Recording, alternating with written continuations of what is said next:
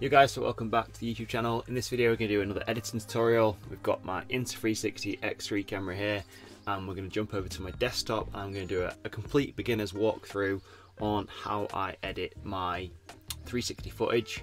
So you can follow along and you can see my workflow and then adopt it to your own work. Just want to make things real simple.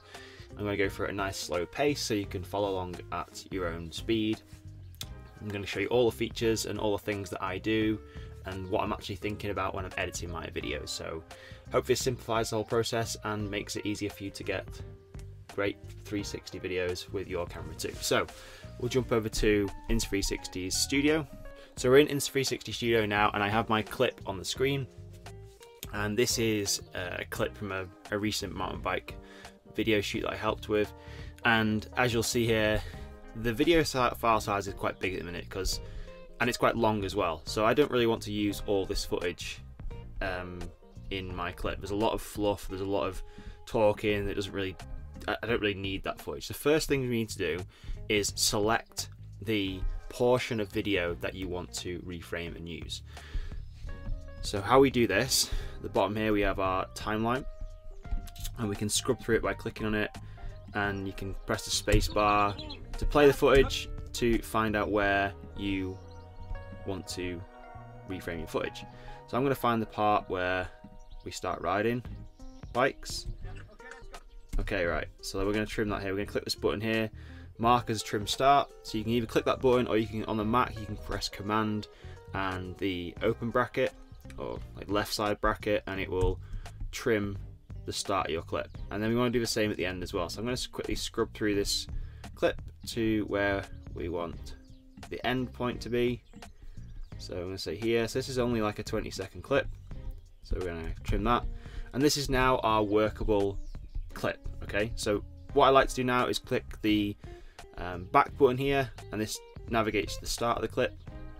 And as you'll see now, we need to first of all set our first keyframe and this is going to kind of dictate where the camera is going to point. Now you you might be different because you may not be reframing mountain bike footage, it may be something different like walking or traveling or something else. But for this instance, what I'm going to do is I'm going to go up to the top right here, I'm going to click stabilization type and I'm going to turn directional lock on. Okay, you'll notice now this actually turns the camera around and what the camera will try and do, it will try and always lock the angle of the camera where it thinks I am pointing, okay? Now, what I have noticed with this is it's great for mountain biking, but it still needs a little bit of tweaking. It's not the perfect system yet. I think Insta360 will refine this as time goes on, and it will get better. And also, every now and again, you'll need to recalibrate your camera, because once this needs recalibrating, then the camera will try and resort to like a different point and you'll end up having to add loads of keyframes and it will mess everything up and this is just what I've experienced so direction lock is great but it, it saves a little bit of time especially for mountain bike footage if you want full customization then you can turn directional lock off and you'll just have to add more keyframes okay so I'm going to turn it on I'm going to turn this round to our first keyframe and I'm going to mark as a keyframe and that's just basically going to set where the camera is going to start looking. So then we're going to press the spacebar and play our footage. And you'll notice straight away there's a, a change of direction. So I'm going to now add a keyframe at the end of the first part of the change direction. So I'm going to use two fingers on the tracking pad. I'm going to zoom out a little bit just to get my handlebars in the shot. I'm quite happy with that there. And I'm going to press Command and K, which is going to add another keyframe.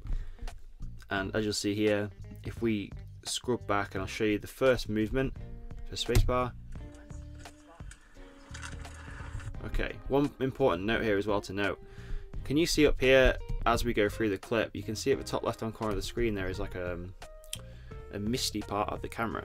And this is actually the corner of the lens slash the microphone cover. So if you notice on my camera I have some furry microphone covers which is just designed to give better audio quality and reduce wind noise.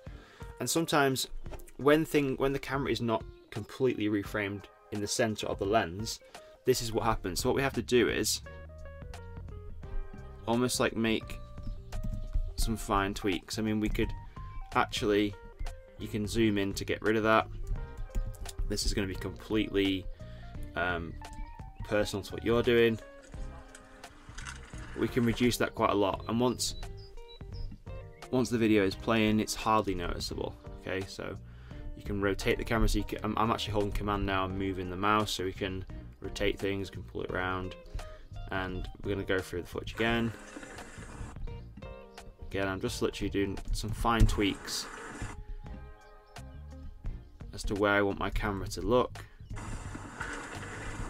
when I'm riding. And usually I try and add as little keyframes as possible and try not to bunch keyframes up too close because then you'll generally get like this jerky motion in your footage. You want nice smooth transitions between your keyframes and this is the thing that takes a little bit of practice because it's just a, a bit of an art I would say. What you can do though is if we click the zoom in on the timeline here we can actually see how close our, our keyframes are together.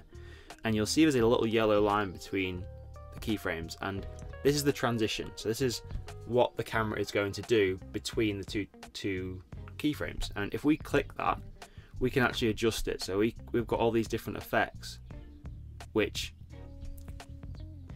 change how the camera moves between two keyframes. And you can have none, I, tend to use smooth dissolve because that's just the, just one I like, but you can get quite custom with these different um, features. Um, you have to try it out for yourself and see, but they basically the camera moves fast and slow, or slow than fast, and like if I if I show you now between these two keyframes, this is the normal. Now if I add, if I change this, let's go fade in, fade out. fade in, fade out. And you'll see it's, it's only slightly different. And you'll probably notice this more on different types of clips, but I just usually leave mine at smooth dissolve. So another thing we can do, when we add our keyframes, we get these different options here. So we've got default, we've got crystal ball, we've got tiny planet, and we've got natural view. So natural view is going to take away that um, warped look from your footage. It's going to be quite a flat looking um, clip, which you may want to get out of your clip. But I, I quite like the default view. I like a little bit of um, uh, warpiness to the side of my clip. Just gives a bit more speed in my videos. You may not want that though. And uh, what we can do though is if we go to default and we can actually pull. We've got the pan angle, we've got tilt, we've got roll, field of view control and distortion so we can really fine tweak how we want our clips to look and we can move in and out like this we can distort our image a little bit more or less we can change the pan the tilt and the roll so you can get really customized with this okay I quite like just to leave it as it is I'm just gonna go to the next keyframe. Okay, so come up to the jump now, which is kind of cool. I'm gonna try and reframe this so it looks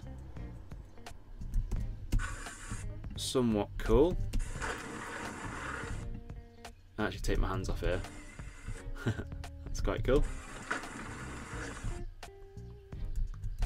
do you like mountain biking. I'm just going to go to the end of the clip here and I'm going to show you some more cool stuff. So all I'm doing now is basically just fine tweaking, adding keyframes as I go down this straight line, just to make sure my handlebars are in the center of the screen. Okay, and then when I get to the, the corner and I'm changing direction, I'm adding a keyframe at the start of the movement, and then one at the end. Now if we play this back just from where we edited, I'll just show you what it looks like.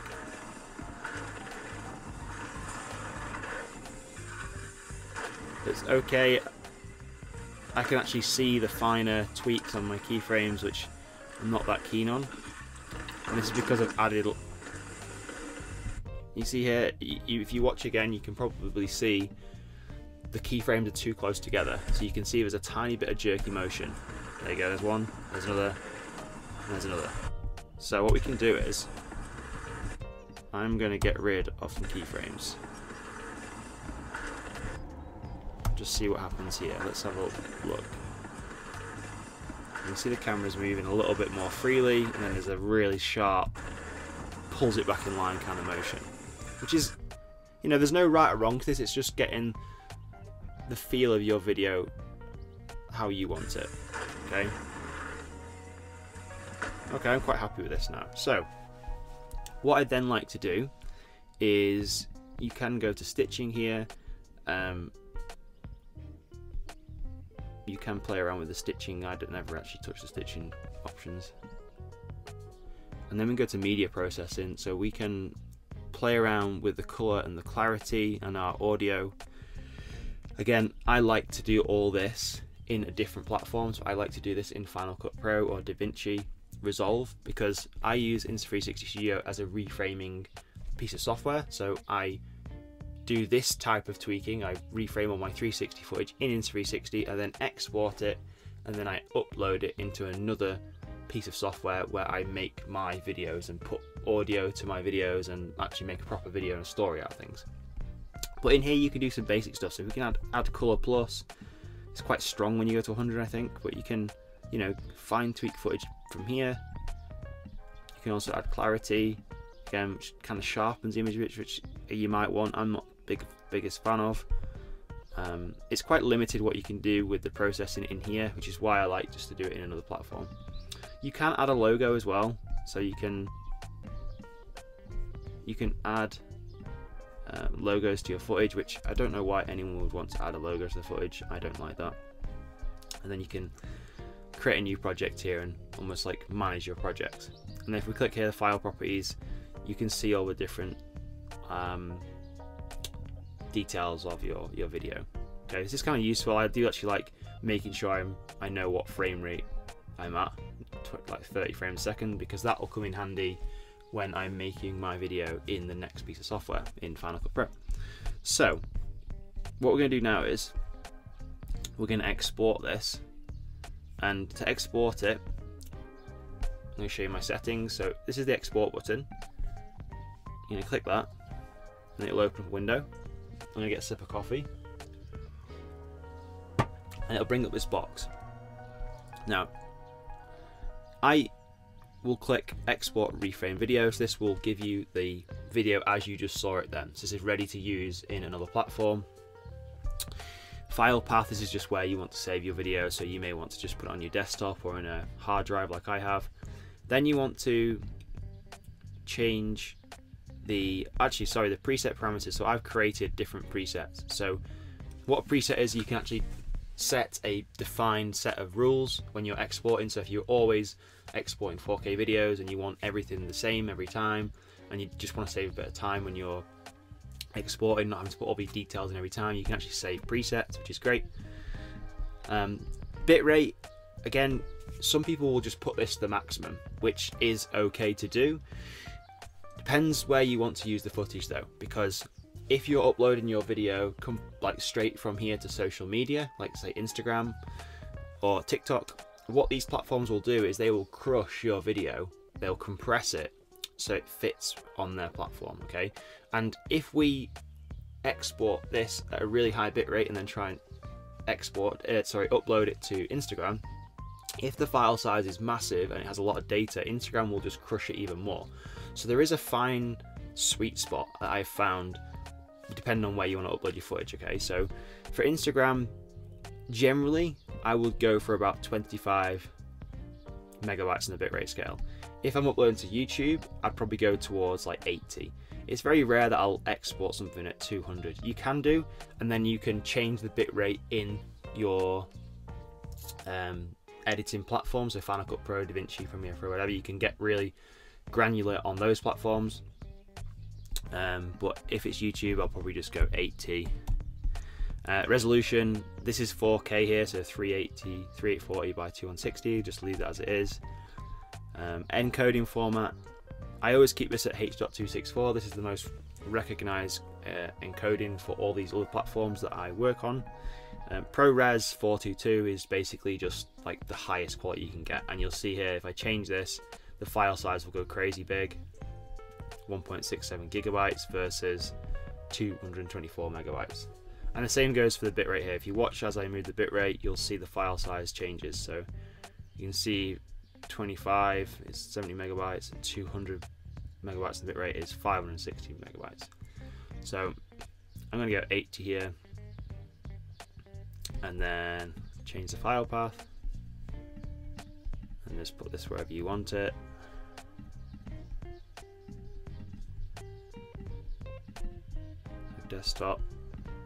and then click open and then start export. And you'll see here the video will start to export and you'll get a progress bar which is nice and handy. And it usually exports pretty fast actually.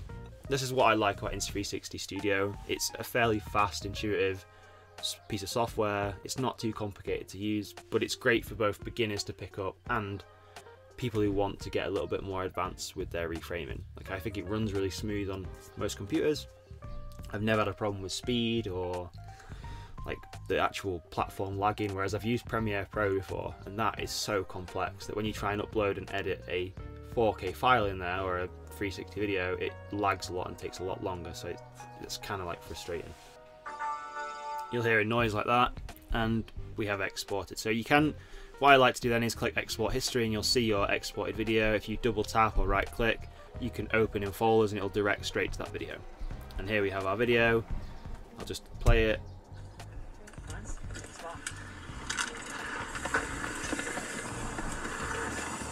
There we have our reframe 360 video. Really good quality video. Awesome. And that's basically how I, I reframe my 360 videos in Insta360 Studio. I will then take that video and I will start piecing together stories videos in Final Cut Pro or DaVinci. Maybe I'll do another video on that actually afterwards how to like add audio to your videos and how to actually make a video out of your action camera footage. Uh, if that is actually something you guys would want then pop a comment below and I can make that video.